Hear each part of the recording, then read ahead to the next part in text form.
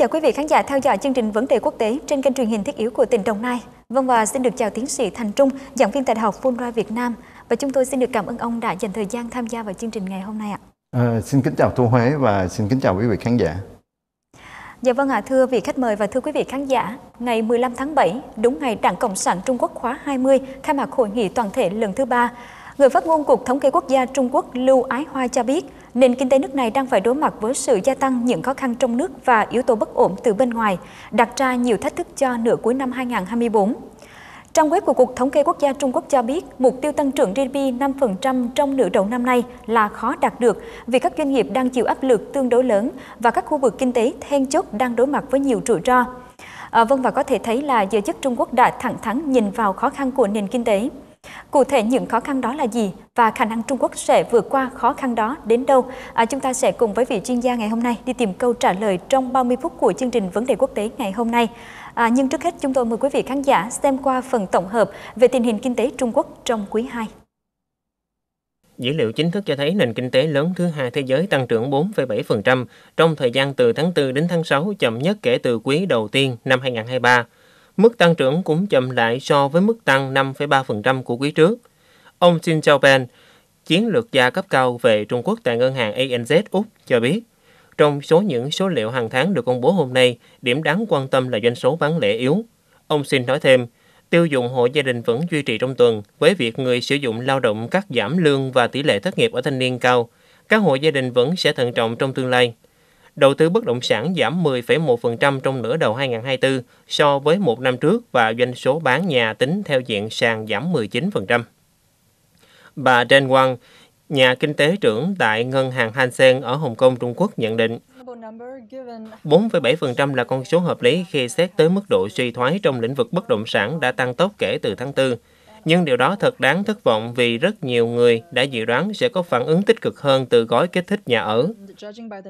Ông Lin Song, nhà kinh tế trưởng của Crystal China tại ngân hàng ING Hà Lan cho biết,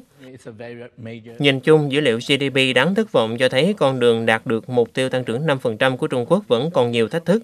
Tác động tiêu cực đến tài sản từ giá bất động sản và cổ phiếu giảm cũng như mức tăng lương thấp trong bối cảnh các giảm chi phí của các ngành khác nhau đang kéo tiêu dùng. Lĩnh vực tiêu dùng được giới phân tích đặc biệt quan tâm với mức tăng trưởng doanh số bán lẻ xuống mức thấp nhất trong 18 tháng. Nhà kinh tế Dan Wang cho biết, Tôi hơi ngạc nhiên về dữ liệu tiêu dùng vì gần đây có thông tin về việc triển khai một số chương trình nhằm ổn định mức tiêu thụ ở địa phương, trong đó có việc thay thế hàng hóa cũ bằng những sản phẩm tiết kiệm năng lượng. Nhưng chính sách đó có vẻ không hiệu quả. Nhận định thêm về thực tại nền kinh tế Trung Quốc, ông Li Trang, chuyên gia tại Trung tâm Trung Quốc đương đại và thế giới của Đại học Hồng Kông cho biết, các ngân hàng Trung Quốc có lẽ đang ở trong tình trạng rất nghiêm trọng biên lợi nhuận bị siết chặt, các khoản nợ xấu đang tích tụ chủ yếu liên quan đến thị trường nhà đất và đã có nhiều hoạt động hợp nhất các ngân hàng nhỏ thành ngân hàng lớn hơn kể từ năm ngoái. Chính phủ Trung Quốc đang đặt mục tiêu tăng trưởng kinh tế khoảng 5% trong năm nay, một mục tiêu mà nhiều nhà phân tích cho rằng đầy tham vọng và có thể cần nhiều biện pháp kích thích hơn. Các nhà kinh tế của Goldman Sachs dẫn đầu bởi Lin Sen Wang nhận định, để chống lại nhu cầu nội địa yếu, chúng tôi tin rằng cần phải nới lỏng chính sách nhiều hơn trong thời gian còn lại của năm nay, đặc biệt là về mặt tài chính và nhà ở. Các nhà phân tích của ngân hàng City cũng kỳ vọng chính phủ Trung Quốc sẽ tung ra một loạt biện pháp hỗ trợ tài sản khác sau cuộc họp của Bộ Chính trị, cơ quan ra quyết định hàng đầu của Đảng Cộng sản Trung Quốc, dự kiến diễn ra vào cuối tháng 7 sau cuộc họp của Ủy ban Trung ương trong tuần này. Dạ vâng, thưa tiến sĩ Thành Trung thì à, nhìn vào bảng dữ liệu của nền kinh tế Trung Quốc thì không biết là ông có nhận xét như thế nào ạ? Khi mà chúng ta nhìn vào cái dữ liệu kinh tế của Trung Quốc trong 6 tháng đầu năm 2024 thì chúng ta có thể thấy rằng là trong cái quý 1 ờ, Ờ, là có nghĩa là trong 3 tháng đầu năm 2024 thì nền kinh tế Trung Quốc phát triển được coi là tương đối tốt à, theo cái con số liệu tính toán là 5,3%. Nhưng mà qua quý 2 từ tháng 4 cho đến tháng 6 vừa rồi thì cái số liệu tăng trưởng của nền kinh tế Trung Quốc đã giảm xuống 4,7%. Thì cái điều đó nó cho thấy rằng là liệu có phải đây là một cái khởi đầu trong cái quý cho cái quý 3 và quý 4 cái nền kinh tế của Trung Quốc nó có thể suy giảm uh, so với quý 1 và quý 2 hay không. Thì do chính vì vậy nên rất là nhiều nhà kinh tế họ đặt câu hỏi liệu rằng là cái mục tiêu mà chính quyền Trung Quốc họ đặt cho cả năm 2024 là 5% có đạt được hay không bởi vì so với năm ngoái thì Trung Quốc cái nền kinh tế Trung Quốc của năm 2023 là đạt khoảng 5,3% và cái điều này nó có nghĩa rằng là cái nền kinh tế Trung Quốc trong năm 2024 sẽ gặp rất nhiều khó khăn để có thể là duy trì được cái tốc độ tăng trưởng như là cái mục tiêu đề ra đạt 5% nếu không muốn nói là không thể đạt được uh, cái mục tiêu như năm ngoái đó là 5,3%. À, ờ, ngoài khi mà chúng ta nhìn sâu hơn vào các cái số liệu cụ thể thì chúng ta thấy rằng là cái nền kinh tế Trung Quốc nó có một cái số dấu hiệu để người ta mang một số cái cái cái tính bi quan về cái nền kinh tế trong Trung Quốc trong thời gian sắp tới. Cái điều quan trọng nhất đó là cái tâm lý của người tiêu dùng. À, cái tâm lý của người tiêu dùng hiện nay họ khá là bi quan về cái nền kinh tế Trung Quốc trong 6 tháng cuối năm. Chính vì vậy họ không dám chi tiền nhiều hơn và họ sẽ có khuynh hướng họ tiết kiệm. Và nếu mà họ không mua sắm thì cái hàng hóa doanh số bán lẻ nó sẽ bị giảm sút và dẫn tới cái việc mà sản xuất của các cái công ty họ muốn kích cầu ở nhu cầu thị trường nội địa nó sẽ rất là rất thấp. Và nó dẫn tới là cái doanh số bán hàng, cũng là như là những cái số liệu về sản xuất, nó sẽ giảm sút trong cái thời gian tới. Cái số liệu trong 6 tháng đầu năm về cái nhà doanh số bán lẻ của thị trường Trung Quốc, nó chỉ tăng có 2% thì đây được coi là một cái con số rất là thấp so với cùng kỳ năm 2023 và do đó rất nhiều người họ đang đặt câu hỏi về liệu là cái nền kinh tế Trung Quốc à, hiện nay mà chính quyền đang muốn thúc đẩy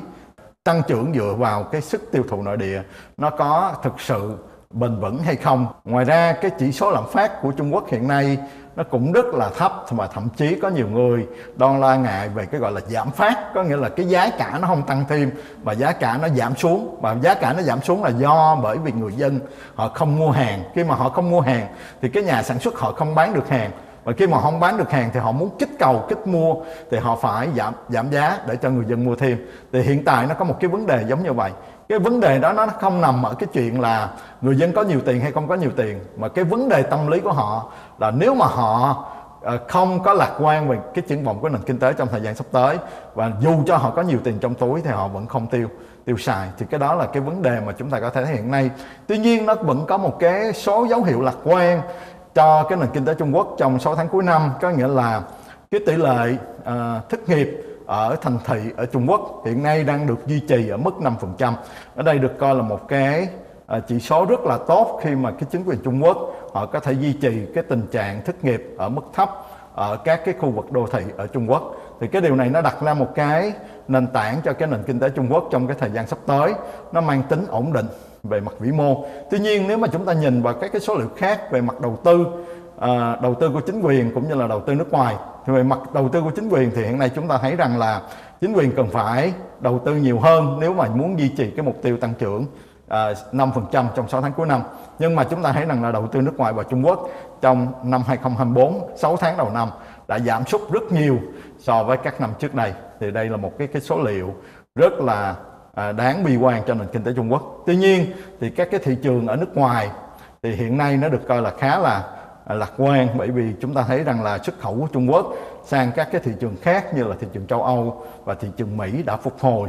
so với trước đây, đặc biệt là so với thời Covid cũng như là so với hai năm trước đây khi mà cái chiến sự ở Ukraine xảy ra thì chúng ta thấy là trong 6 tháng đầu năm 2024 là cái xuất khẩu của Trung Quốc nó có phục hồi có nghĩa là cái nhu cầu ở bên ngoài Trung Quốc nó tăng cao hơn kỳ vọng trong khi cái nhu cầu tiêu thụ ở trong nước nó thấp hơn kỳ vọng của chính quyền Trung Quốc hiện nay. Bà Lưu Ái Hoa là cái người phát ngôn Cục Thống kê Quốc gia lại cho rằng là à, nền kinh tế nước này đang phải đối mặt với nhiều khó khăn trong nước. Vậy thì theo tiến sĩ Thành Trung, những khó khăn đó là gì ạ? Khi chúng ta nhìn vào một cái nền kinh tế của một quốc gia nào đó thì nó có hai cái nhân tố nó sẽ tác động tới nền kinh tế của quốc gia đó. Một là cái yếu tố bên ngoài, có nghĩa là uh, liệu đầu tư từ nước ngoài vào quốc gia đó hoặc là cái nhu cầu của thị trường bên ngoài mà quốc gia nếu quốc gia đó là quốc gia hướng về xuất khẩu và hai là các cái yếu tố mang tính nội tại của cái quốc gia đó. Thì chúng ta thấy là cái yếu tố nội tại của của Trung Quốc nó là cái vấn đề dai dẳng trong những năm gần đây. Đầu tiên đó là cái gọi là vấn về cái vấn đề thị trường bất động sản. Thì chúng ta biết rằng là cái cái nền kinh tế Trung Quốc nó dựa vào cái thị trường bất động sản rất là nhiều. Bởi và thậm chí là cách mấy năm gần đây là nó chiếm khoảng à, gần 30% cái nền kinh tế của Trung Quốc. Bởi vì cái thị trường bất động sản gồm các công ty địa ốc rồi các công ty xây dựng rồi các cái công ty sản xuất nguyên vật liệu rồi nhân công rồi tất cả rất nhiều ngành nghề nó liên quan tới cái thị trường bất động sản của Trung Quốc. Nhưng mà cách đây mấy năm gần đây thì là chúng chúng ta biết rằng là chính quyền Trung Quốc họ đã siết chặt cái trường thị trường bất động sản bởi vì họ lo sợ về cái bong bóng của bất động sản khi giá nhà được đẩy lên quá nhanh. Và khi mà họ thiết lập một số cái uh, chính sách hết sức là nghiêm khắc trong việc cho vay Ờ, đối với các cái công ty địa ốc và nó dẫn tới cái thị trường bất động sản đóng băng và cái thị trường bất động sản hiện nay nó vẫn chưa thực sự là hồi phục. Mặc dù nó có một cái số liệu nhỏ à, mang tính tích cực trong 3 tháng gần đây khi mà cái chỉ số về bán nhà nó có tăng nhưng mà rất là ít. À, chính vì vậy cái thị trường bất động sản hiện nay nó vẫn còn mang đầy màu sắc bi quan và nó không có khả năng được coi là hồi phục một cách mạnh mẽ trong cái thời gian sắp tới. Thì cái đây nó được coi là một vấn đề mang tính cấu trúc đối với cái nền à, kinh tế Trung Quốc. Ngoài ra thì chúng ta cũng thấy là cái vấn đề về nợ công ở các cái chính quyền địa phương hiện nay cái vấn đề nợ công nó cũng rất là nhiều. Và các chính quyền địa phương hiện nay đang gặp vấn đề à, với cái nợ công và điều đó nó dẫn tới à, rất nhiều cái sức ép lên các cái ngân hàng. Đặc biệt là chúng ta thấy là trong cái dấu hiệu những tháng gần đây là chúng ta thấy rằng rất nhiều cái ngân hàng à, nhỏ biến mất là do bị sát nhập bởi vì là do họ hoạt động yếu kém và do họ bị cho vay nợ xấu quá nhiều đối với cái thị trường bất động sản cũng như đối với các cái chính quyền địa phương mà nó dẫn tới là các ngân hàng này hầu như uh, không thể hoạt động một cách uh, bền vững được và dẫn đến là cái nó có rất nhiều sức ép lên cái thị trường tài chính ở Trung Quốc. Hiện nay ngoài ra thì cái vấn đề về uh, cái lương thu nhập của nhân công đặc biệt trong cái ngành gọi là à, lĩnh vực tư nhân hiện nay cũng bị giảm sút bởi vì các cái lĩnh vực tư nhân hiện nay của Trung Quốc họ đang dần mất động lực để à, mở rộng kinh doanh sản xuất. Và người ta thấy rằng là cái việc mà đầu tư từ cái lĩnh vực tư nhân ở Trung Quốc trong 6 tháng đầu năm vừa qua là hầu như không tăng. Và dẫn đến cái việc cái điều đó nó báo hiệu rằng là hiện nay cái thị trường tư nhân ở Trung Quốc các cái công ty uh, tư nhân ở Trung Quốc hiện nay họ đang Ờ, không mở rộng kinh doanh và họ đang cố gắng là thủ thế và dẫn tới cái việc là họ sẽ cắt giảm lương cũng như là thu nhập của nhân viên. Và khi mà họ cắt giảm lương thu nhập của nhân viên thì điều đó nó dẫn tới uh, nhân viên họ không có cái thu nhập để họ có thể uh, chi tiêu một cách thoải mái trong cái thời gian sắp tới và dẫn đến nó dẫn đến cái nhu cầu của thị trường nội địa. Nó cũng uh, dẫn theo một cái dây chuyền và nó dẫn tới là cái việc mà sản xuất à, cũng như là cái việc tiêu thụ trong cái thị trường nội địa Trung Quốc hiện nay đang gặp rất nhiều là sức ép và nó không có dấu hiệu là lạc quan trừ khi nhà nước Trung Quốc à, họ có những cái chính sách để kích cầu tiêu dùng nội địa cũng như là kích à, cầu hay là kích các cái kích gọi là về chiều cung có nghĩa là kích thích các cái nhà sản xuất họ tăng cường sản xuất hay là nâng cao năng suất trong cái thời gian sắp tới. Dạ vâng ạ, à, xin được cảm ơn tiến sĩ với những chia sẻ vừa rồi ạ. À, vâng thưa quý vị khán giả, có thể thấy là nội tại nền kinh tế Trung Quốc đang có rất nhiều khó khăn và vấn đề này đã trở thành một trong những chủ đề chính của hội nghị toàn thể lần thứ ba Ban chấp hành Đảng Cộng sản Trung Quốc CPC khóa 20. Ngoài ra thì phiên họp cũng đặt ra các mục tiêu phát triển xã hội cùng với nhiều vấn đề lớn khác. Theo truyền thông nhà nước Trung Quốc, cải cách sâu rộng và thúc đẩy hiện đại hóa là trọng tâm của hội nghị toàn thể lần thứ ba khai mạc ngày 15 tháng 7. Ông Tập Cận Bình, Tổng Bí thư Ban chấp hành Trung ương Đảng Cộng sản Trung Quốc, thay mặt Bộ Chính trị Ban chấp hành Trung ương Đảng Cộng sản Trung Quốc trình bày báo cáo công tác và trình bày dự thảo quyết định của Ban chấp hành Trung ương Đảng Cộng sản Trung Quốc về việc tiếp tục cải cách sâu rộng toàn diện và thúc đẩy hiện đại hóa Trung Quốc – Truyền thông nước này chỉ ra rằng cuộc họp 5 năm một lần cũng tập trung vào việc củng cố hơn nữa các giá trị xã hội chủ nghĩa và vai trò lãnh đạo của Đảng Cộng sản Trung Quốc, đồng thời hướng dẫn đất nước khai thác điều mà Bắc Kinh gọi là lực lượng sản xuất chất lượng mới như trí tuệ nhân tạo và các công nghệ khác, vốn đang bị các quốc gia phương Tây để ý.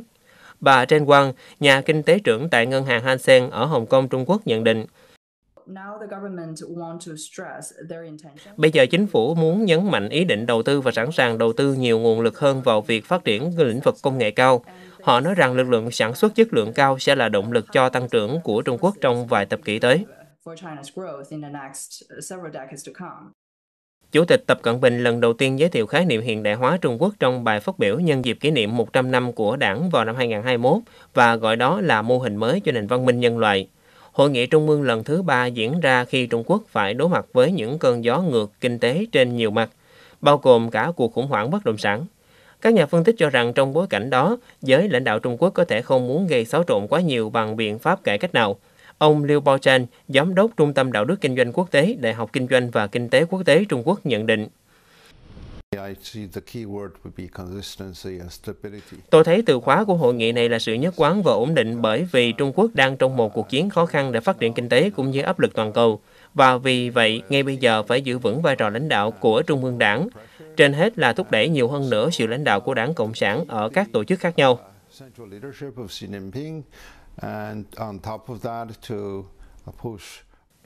Nền kinh tế lớn thứ hai thế giới dự kiến sẽ đạt mục tiêu tăng trưởng khoảng 5% trong năm nay. Mặc dù vậy, các nhà kinh tế cho rằng các nhà hoạch định chính sách Trung Quốc cần tăng cường thay đổi cơ cấu để tập trung vào chính sách kinh tế dài hạn. Nhà kinh tế trên quan góp ý, Trung Quốc cần tăng nguồn thu từ thuế bằng cách tăng thuế thu nhập cá nhân, thuế doanh nghiệp hoặc tránh trốn thuế nhiều hơn trong tương lai và đồng thời phải duy trì sự ổn định tài chính vì hầu hết các ngân hàng thương mại ở Trung Quốc đều chịu rủi ro cao. À, dạ vâng, các nhà phân tích quốc tế cũng đã chỉ ra các vấn đề nội bộ của Trung Quốc. À, còn trong ngày khai mạc hội nghị thì người phát ngôn Cục Thống kê Trung Quốc đã chỉ ra à, yếu tố bất ổn từ bên ngoài. À, những cái yếu tố bên ngoài mà Trung Quốc đang gặp phải, vậy thì theo tiến sĩ Thành Trung là có gì khác so với những gì mình kinh tế này đang gặp phải trong thời gian trước hay không ạ? À, một trong những cái mà chúng ta thấy rằng là thị trường Trung Quốc họ phản ứng rất lè đối với những, những cái yếu tố bên ngoài đó là cái tin mà uh, ứng cử viên của đảng Cộng Hòa ở bên Mỹ đó là Donald Trump có nhiều khả năng là có thể đắc cử uh, tổng thống trong cái thời gian sắp tới dựa trên những cái uh, uh, điều tra ở Mỹ hiện nay về cái à, sau cái vụ ám sát hụt ông Trump bị ám sát hụt thì chúng ta thấy rằng là cái uy tín của ông lên rất cao đặc biệt là trong đảng cộng hòa và cũng cả trong các cái người mà được khảo sát ở Mỹ. Thì nếu mà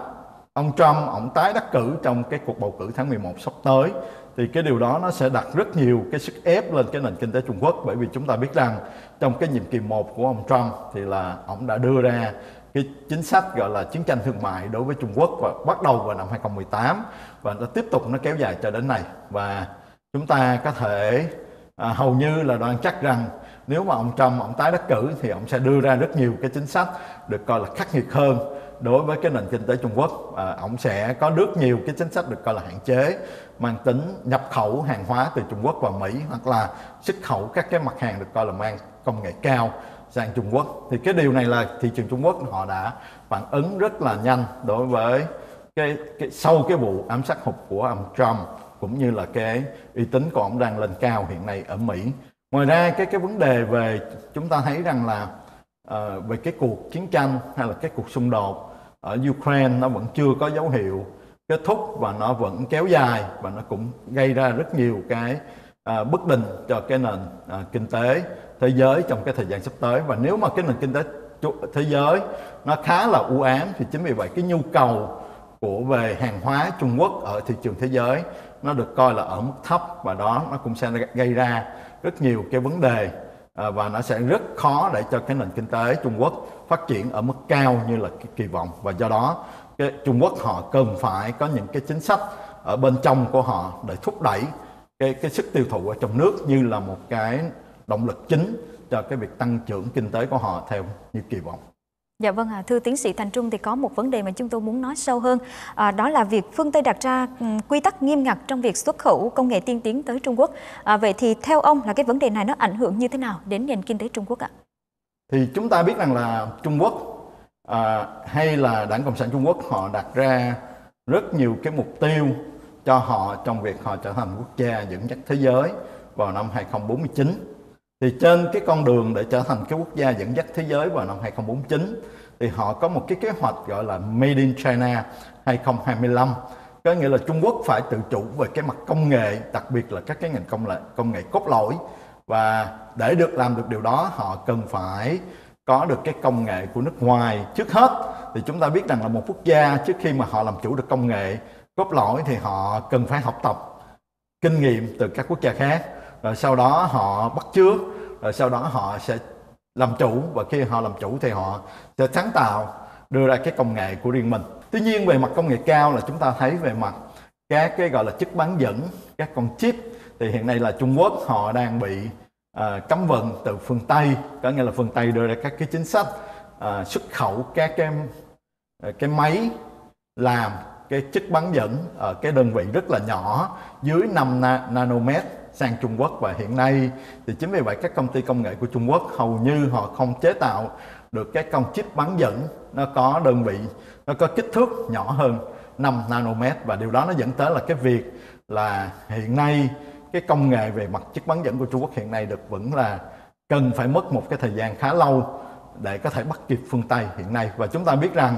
là để có được cái gọi là trí tuệ nhân tạo. Hiện nay mà rất nhiều quốc gia đang nói về cái gọi là trí tuệ nhân tạo AI thì muốn có được trí tuệ nhân tạo thì họ cần phải có các con chip bán dẫn à, với công suất lớn để có thể chạy các cái bộ dữ liệu lớn để dạy cho các cái máy đó cái bộ dữ liệu lớn. Và khi mà chúng ta hỏi cái gì thì là cái cái, cái AI đó nó có thể trả lời được. À, và muốn làm được giống như vậy thì chúng ta biết là cái công ty Nvidia về AI Ờ, cần phải mua các cái con chip từ các cái công ty khác và cái con chip đó nó cần phải là hết sức là nhỏ và có cái công suất rất là lớn. À, và hiện nay là phương Tây họ đang muốn thống trị cái điều này và họ không muốn Trung Quốc sở hữu được cái công nghệ giống như vậy. Và chính vì vậy các công ty Trung Quốc họ cần phải tự phát triển cái con chip của riêng họ. Thì công ty Huawei của Trung Quốc họ nói rằng họ có thể tự phát triển một cái con chip uh, có kích thước nhỏ và công suất lớn tuy nhiên cái liệu, cái liệu điều đó nó có thật hay không thì chúng ta cần phải có một cái sự phối kiểm để chúng ta biết chính xác hơn. Dạ vâng và tiến sĩ Thành Trung vừa có những cái phân tích rất là chi tiết về vấn đề mà chúng tôi vừa nêu à, và bây giờ thì chúng tôi muốn à, tiến sĩ chia sẻ sâu hơn về một cái vấn đề đó là à, gần đây một số công ty lớn của Trung Quốc đang rụt rịch hành động à, nhằm tự chủ về công nghệ chẳng hạn như là các hãng viễn thông um, đang chuyển dần qua sử dụng CPU nội địa. À, vậy thì không biết là ông đánh giá như thế nào về vấn đề này? Liệu rằng là Trung Quốc có thể tự chủ được hay không? Và cái việc mà à, tự chủ thì có thể giúp cho Trung Quốc tránh được cái việc là tụt hậu um, trong cái lĩnh vực này hay không ạ? À, theo tôi thì khi mà muốn phát triển một cái công nghệ à, hay là tự chủ về mặt công nghệ nào đó thì nó đều nó đều nó đòi hỏi từ cái cái chính quyền đó họ có các một số yếu tố như thế này. Đầu tiên là cái vấn đề về vốn. À, tiếng anh nó hay gọi là financing hay là funding có nghĩa là cái chính quyền họ có đủ tiền để họ đầu tư vào cái lĩnh vực đó hay không để khuyến khích không những là các công ty quốc danh mà các công ty tư nhân tham gia vào cái lĩnh vực đó. Thì chúng ta thấy rằng hiện nay về cái vấn đề tiền thì Trung Quốc họ có rất là nhiều tiền. À, và chúng ta đã nhìn thấy những gì mà họ, Trung Quốc họ đã làm với các cái ngành gọi là uh, họ gọi là ngành sản xuất năng gọi là lực lượng sản xuất mới chất lượng cao. Đó là cái từ dùng của họ nó hơi chưa quen hiện nay. Lực lượng sản xuất mới chất lượng cao. Chẳng hạn cũng như chúng ta biết về mặt xe điện hay gọi là EV hay là cái về về cái ngành năng lượng mặt trời. À, các cái tấm pin năng lượng mặt trời hiện nay là Trung Quốc được coi là à, hàng đầu thế giới. Và do cái chính quyền Trung Quốc họ đầu tư rất là nhiều và khuyến khích các công ty tư nhân phát triển và thứ hai là chúng ta thấy cái ngành viễn thông 5G thì Trung Quốc biết là, chúng ta cũng biết là Trung Quốc họ cũng đầu tư rất là nhiều. Và một trong những cái công ty hàng đầu thế giới hiện nay đó là công ty tư nhân của Trung Quốc, của cái ông Nhậm Chính Phi, đó là cái công ty Huawei. Thì là Trung Quốc họ đã vượt trội so với Mỹ về cái lĩnh vực viễn thông. Và cái và cái vấn đề thứ hai, ngoài cái vấn đề về vốn, đó là vấn đề về con người. Thì chúng ta thấy rằng là hiện nay Trung Quốc họ cũng sở hữu một số lượng rất là lớn các cái kỹ sư tài năng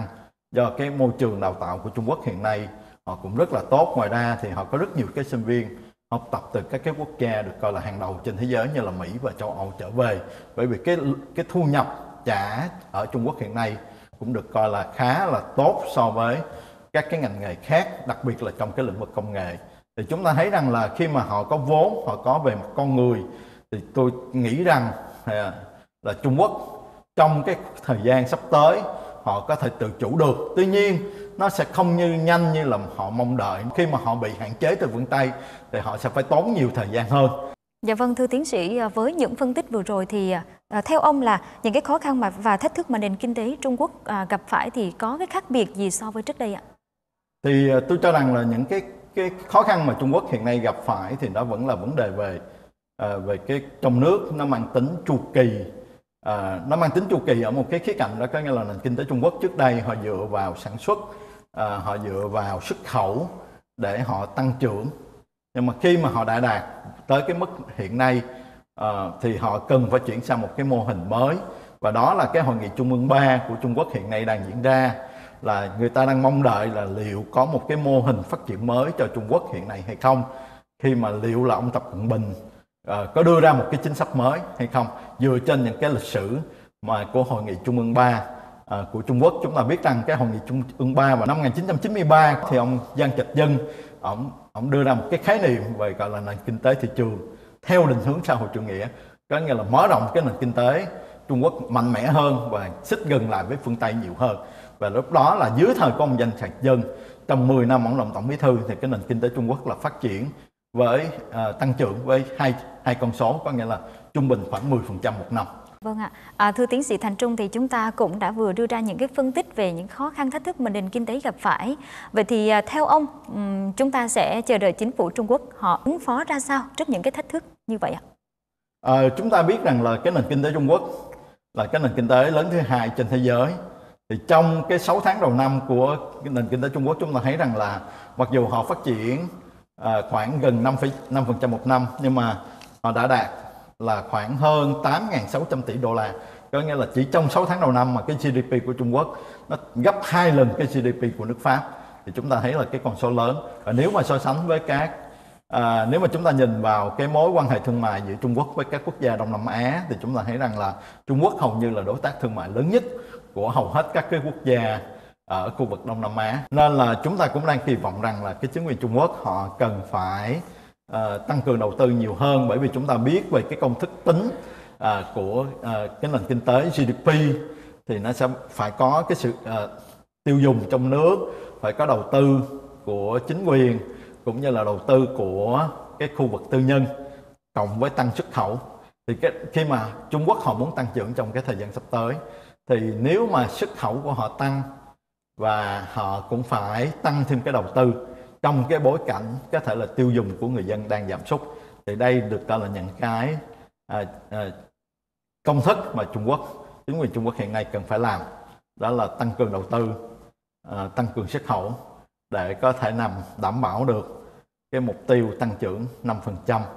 à, cho năm cả năm 2024 ngoài ra họ cần phải giảm thiểu những cái tác hại hay là những cái nguy cơ của cái ờ, thị trường bất động sản nó vẫn chưa thực sự là ấm trở lại và nó có khả năng nó có thể sụp đổ khi mà cái nợ trong các cái ngân hàng nó vẫn còn rất là lớn. Dạ vâng và rõ ràng là chúng ta thấy rằng là vạch ra những cái giải pháp để chống lại thách thức thì chắc chắn là việc cần làm rồi đúng không ạ? À, vậy thì um, nếu như mình nhìn vào tổng thể thì không biết là ông đánh giá như thế nào về cái khả năng vượt qua thách thức nền kinh tế Trung Quốc ạ? À, theo tôi thì tôi vẫn khá là lạc quan với những cái gì mà chính quyền Trung Quốc có thể làm được à, trong 6 tháng, 6 tháng cuối năm 2024. Bởi vì nếu mà chúng ta so sánh Trung Quốc với những cái quốc gia được coi là phát triển khác ở trên thế giới thì cái gọi là cái mức tăng trưởng khoảng gần 5% hay là 5% một năm vẫn được coi là cao. Chúng ta nhìn sang các quốc gia châu Âu khác thì họ chỉ tăng trưởng chưa tới 2%. Chẳng hạn chúng ta nhìn sang Mỹ thì cũng chỉ khoảng 2%. Còn nếu mà chúng ta nhìn sang Nhật thì chúng ta còn thấy nó u ám hơn nhiều. Thì chính vì vậy à, nếu mà chúng ta đặt quá nhiều kỳ vọng vào Trung Quốc thì nó cũng không hợp lý lắm. À, tôi nghĩ rằng là cái mức tăng trưởng 5% một năm cho Trung Quốc trong năm 2024 là một một cái mục tiêu khả dĩ mà chính quyền Trung Quốc họ có thể đạt được. Tuy nhiên họ cũng phải cần có những cái chính sách mạnh mẽ hơn trong 6 tháng còn lại của năm. Tuy nhiên thì tôi vẫn khá lạc quan với những gì mà cái nền kinh tế Trung Quốc họ có thể vượt qua trong 6 tháng còn lại của năm 2024 Dạ vâng và một lần nữa thì à, chúng tôi sẽ được cảm ơn tiến sĩ Thành Trung à, đã tham gia vào chương trình ngày hôm nay và có những cái chia sẻ rất là thấu đáo với chương trình của chúng tôi ạ.